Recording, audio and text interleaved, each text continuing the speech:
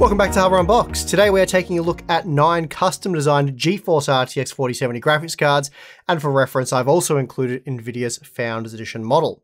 I'll be comparing stuff like specs, thermals, power, clocks, and of course we'll do some noise normalized testing, so we have a lot to go over, but before we get into it, Today's sponsor spot is brought to you by Newegg and their incredibly quick and easy to navigate website, which I've used to purchase a lot of the hardware we use for testing, such as this motherboard. I also often find myself using Newegg for our cost per frame data as they offer competitive pricing and a quick and easy way to find exactly what I'm looking for. In my opinion, the website is by far the best for finding various PC components such as graphics cards. It's easy to filter searches, compare prices, and find great combo deals. So for more information, please check the link in the video description. Okay, so as I said, there is a lot to go over. So without wasting any time, let's take a brief look at each of the models that we're going to be testing, and then we'll jump into the results. First up, we should probably go over NVIDIA's Founders Edition version of the RTX 4070 because I guess that's sort of a reference model, or at the very least a performance benchmark. It's also the smallest graphics card featured in this roundup, though thankfully it's not the only dual slot model. For many of you, the Founders Edition version will be irrelevant as you simply can't buy it. For example, it's not available here in Australia, and I believe this is the case for most other regions. And even availability in the US seems sketchy, and it's certainly much easier to buy from one of Nvidia's partners. Which is a shame as I believe the FE is one of the best looking and highest quality models out there, though I suppose depending on your needs it's certainly not the best. And one graphics card that is a lot easier to find online is the Asus RTX 4070 Dual OC, and it can be purchased down under. It's an MSRP model, which means it costs the same $600 US as NVIDIA's FE version, and when compared to many other partner models, the Dual looks very compact, but it's actually much taller and even longer than NVIDIA's FE model. That said, it is 17% lighter at 915 grams. Now, ASUS has opted not to use the 12 pin high powered connector and instead has stuck with the more traditional 8 pin connector, of which this card requires just one. And this is the same configuration that almost all other custom RTX 4070s have gone with. Then, as the name would suggest, this is a dual fan model, and ASUS hasn't included dual BIOS functionality, so it's only dual fan, not dual BIOS. Then the big gun from Asus for this roundup is the TUF Gaming OC, and right away I have to admit this is probably going to be my personal favourite, just in terms of design and appearance. Unfortunately though, it is a little bit pricey at $640 US, so $40 over the MSRP, not too bad, but that does get you an all-metal design with the only plastic coming from the fans, which makes sense. Structurally though, this is a very solid card, and all that aluminium, it leads to a very premium look and feel. Asus has again gone with a single 8-pin power connector, and you get the standard I.O. configuration, which includes just a single HDMI output and three display ports, and this very same configuration has been used by all graphics cards in this roundup. Then at 301mm long, it's one of the longest RTX 4070s on the market, and it's also one of the heaviest at 1156 grams. So we're dealing with a very big cooler here, which should result in excellent thermal performance. Next up, we have the Galax EX Gamer White, though this time uh, I have to confess to it being probably one of my least favorite looking models of this roundup, at least in terms of the design. Now, while I appreciate and like the fact that this is a white graphics card and they can be quite rare, the plastic fan shroud, it looks very cheap and tacky in my opinion, and while the all-metal backplate is nice, and again it is in white, the black details, which are a bit random and all over the place, they just spoil it for me. That and the unnecessary labels which could be hidden away on the underside of the card near the PCI Express connector. So the EX Gamer White, it does win points for the more unique white design, but then loses those points for doing it a bit poorly.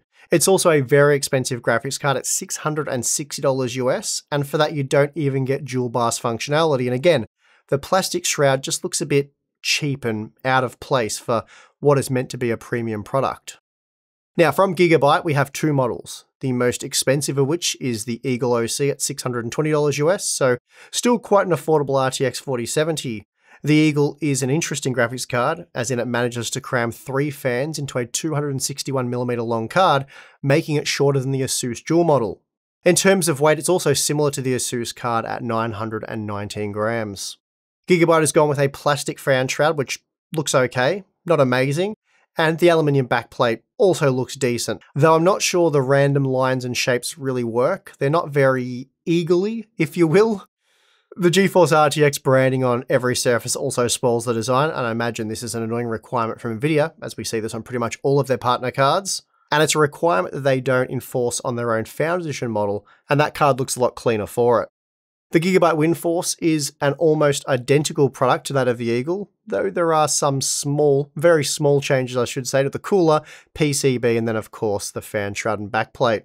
As a result, the physical dimensions are the same, but the WindForce model weighs roughly 40 grams less, so very small difference there. But the most obvious difference is, of course, the color. Whereas the Eagle is grey, the WindForce is a blacked out product, which I'm sure many of you will prefer. I also feel the cleaner and simpler backplate design looks better. So based on looks alone, I'd go with the WindForce. That said, you do lose dual BIOS support, and that's a feature that is present on the Eagle. Now, the flagship model from MSI is the Gaming X Trio, and this is by far the largest and heaviest RTX 4070 we have on hand. It measures 338mm long and tips the scales at 1214 grams. The heatsink is massive, again by far the biggest of any of the coolers seen in this roundup. The metal backplate features a huge cutout for airflow, and recessed within the cooler is a 12 pin high powered connector. The fan shroud has been constructed from plastic and it looks nice enough and features a few cool RGB highlights. Overall, an aggressive but clean looking graphics card that I expect to perform very well.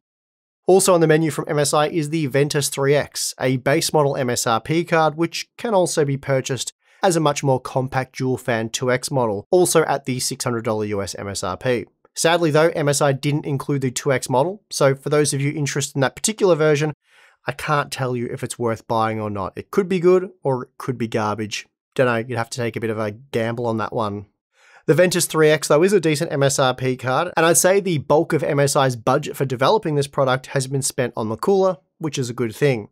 That said, we do miss out on dual BIOS support, and the backplate kind of sucks, as it's an all plastic design. That's something I wish we'd stop seeing from brands like MSI as it really cheapens their products. And I wouldn't be surprised if cooling performance was actually improved by removing the plastic backplate. Now, the most basic of all the graphics cards featured in this roundup is the PNY Dual, a dual fan RTX 4070, and that's about all I've got to say about that. It's a very bland, OEM looking graphics card, which I suppose isn't necessarily a bad thing. It measures 248 millimeters long, which is just 5 millimeters shorter than the FE model, it's the lightest of all the RTX 4070s we have on hand at just 688 grams. There's no dual BIOS support, but it is an MSRP model, so it sells for $600 US. But like I said, extremely basic.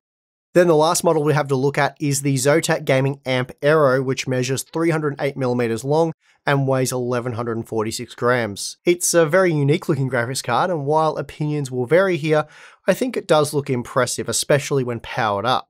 The only real issue I see with this product is the price. At $670 US, it's the most expensive model in our roundup, so the performance would need to be a bit special to justify the asking price. And speaking of which, let's move on for a quick specs comparison and then we'll jump into the benchmark results. Of the nine AIB models included, four of them are available at the MSRP, and based on what we just saw, most of them look pretty decent. But of course, how they perform is the most important thing, and we'll get to that in a moment.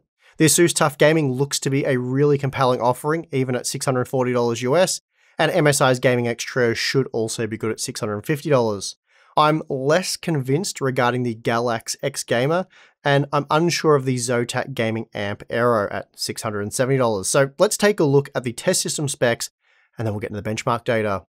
For testing, all graphics cards were installed inside an ATX case with the doors closed at a room temperature of 21 degrees Celsius. The exact same conditions were maintained for all testing, and each result was recorded after 30 minutes of load in the same game, again under the same conditions. So with that, let's get into the data. First up, here's a look at the stock out of the box performance. So no changes to the cards have been made, and we're using the default BIOS profile for models with a dual BIOS feature.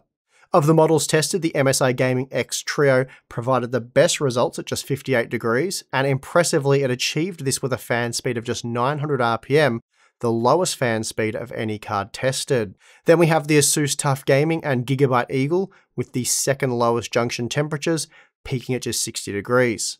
They were followed by the Galax Gamer and Asus Dual at 61 degrees, the Zotac Gaming at 63 degrees, Gigabyte Windforce and MSI Ventus at 64 degrees, Founders Edition at 65 degrees, and the PNY Dual reaching 66 degrees. This means for the average temperature seen across the GPU die, we're looking at just an 8 degree variance between the worst and best models, though the fan speed does vary as much as 1000 RPM. But of course, we'll do some noise normalized testing in a moment. Now, when it comes to the hotspot temperatures, the MSI Gaming X Trio was again the best, peaking at just 69 degrees, which is a nice result, you could say. Then we have both Asus models peaking at 71 degrees, though the more compact dual version did require a higher fan speed. The Galax Gamer and Gigabyte Eagle models also performed really well at 72 degrees and 73 degrees respectively. Then we jump up to 77 degrees for the MSI Ventus 3X and Zotac AMP models. Nvidia's FE and Gigabyte's Windforce peaked at 79 degrees, and again, the PNY Dual was the hottest at 80 degrees, which is still a very acceptable result. Now, the biggest temperature variance is seen when looking at memory temperatures, and we have some surprising results here. Firstly, and least surprising of all, is MSI's Gaming X Trio with the best result at just 62 degrees. But what was surprising were the Gigabyte cards. Gigabyte's Eagle was the next best with a peak memory temperature of just 66 degrees, followed by the Galax Gamer and then Gigabyte's Windforce at 68 degrees. Then in the middle of the pack is Nvidia's FE model along with the Asus TUF Gaming, both of which peaked at 72 degrees.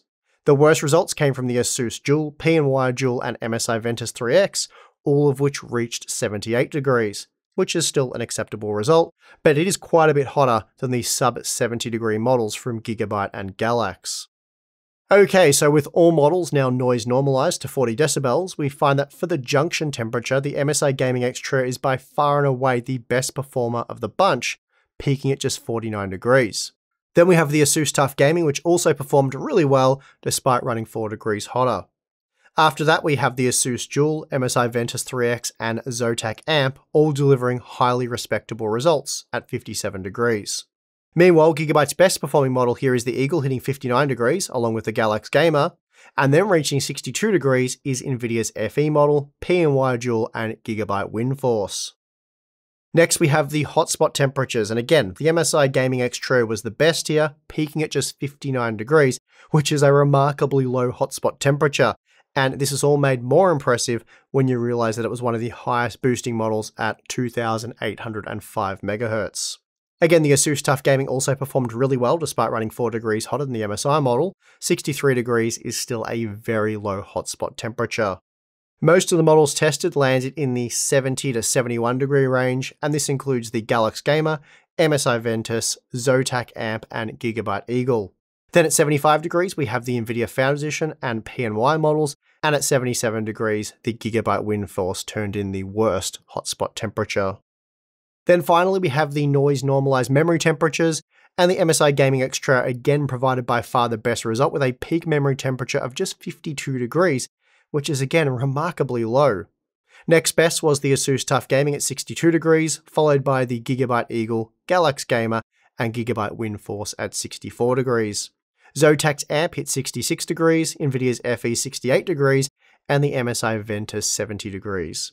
Then the worst two results came from the Asus Dual at 72 degrees and the PNY Dual at 74 degrees. But again, both are acceptable results. So there you have it. If you're after the absolute best performance, the MSI Gaming X Trio does look to be a safe bet, and it was certainly the best performer of this bunch. There's no doubt other RTX 4070 models out there that'll give this thing a run for its money, but sadly I was unable to acquire them for this roundup. Gigabyte just seemed uninterested in promoting their high-end RTX 4070 products, so we couldn't get the Aorus Master in time for this testing. The Asus Strix model also wasn't available at the time of making this content, and as a result, Asus were unable to get us a sample. That said, it's on sale now, though it's $750 US, I can't imagine it'd come anywhere near close to justifying that price tag. The Zotac Gaming Amp AIRO looks really nice with some fancy RGB effects, but only mediocre performance makes it difficult to justify the $670 US asking price. It's certainly not a bad product. At the right price, it is well worth considering, so if pricing does differ in your region, be sure to check it out. The Galax EX Gamer White is a tougher sell in my opinion. The performance was decent, though it was often matched by MSRP models, and other than the white design, it really has little going for it at $660 US. Of the MSRP models, I really liked the Asus Dual. It's a compact, simple looking card that offers great performance and all the basics such as dual BIOS and a metal backplate. On that note, the MSI Ventus 3X performs well enough at $600, but the plastic backplate and lack of dual BIOS support is quite disappointing. I'd say my personal favourite of this roundup is the Asus TUF Gaming. It's a bit cheaper than the MSI Gaming X Trio, and performance is still extremely impressive, certainly good enough. It's also a bit more compact, and I like the fact that it uses the 8-pin power connector. And of course, what really gets it over the line for me is that all-metal design. Seeing Asus do away with the plastic fan shroud for the TUF Gaming is great, and it makes it look and feel like the most expensive model of our roundup which is impressive given that it costs just $40 over the MSRP. Still, picking between the TUF Gaming and Gaming X Trio isn't going to be easy. They're both exceptionally good RTX 4070 graphics cards. Of course, Nvidia's own Founders Edition model is hard to beat at $600, and I don't feel like anything does, at least not convincingly, but sadly, most of you won't have access to Nvidia's own version. Anyway, that's been our look at as many RTX 4070s as I could get my hands on, and the good news being that there are no duds. There's no models that you should absolutely avoid at all costs like we've seen in previous roundups, not of RTX 4070s, but other roundups over the years. There's been the odd bad graphics card. So no duds here, which is always nice to see. And if you enjoyed this content, please do give it a thumbs up. It was quite a bit of work, and I would like to start doing more of these GPU roundups, but yeah, we're, we're struggling for GPUs that are worth rounding out. Maybe 7900 XT at the newer, lower price point. That could be worth doing a roundup on those. Let me know what you guys think in the chat. And if there are any current generation GPUs that you think are worthy of, of having a graphics card roundup. But yeah, I think we're pretty going to be pretty hard pressed on that one. Anyway, that will do it for this one. If you'd like to become more involved with the channel, and get some really cool perks in return, we do have Floatplane or Patreon. Either of those will give you access to some cool stuff like our exclusive Discord server for members only, monthly live stream, behind the scenes content and Q&A stuff. So check that out if you're interested, but if not, that is perfectly fine. And I would like to thank you for watching this video. I'm your host Steve. See you next time.